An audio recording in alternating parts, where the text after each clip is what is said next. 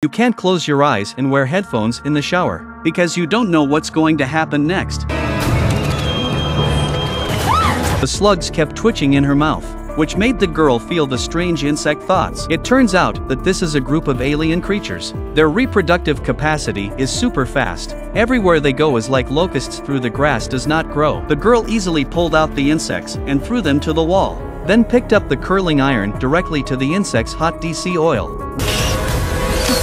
Rushed to put on clothes and went out to find her mother, but the mother was also infected by the bug, and even the youngest siblings were not spared. Seeing more and more bugs girl can only escape to the balcony, but the balcony is also surrounded by bugs. Shorts is limited in duration. Click on the comments section to see the full episode.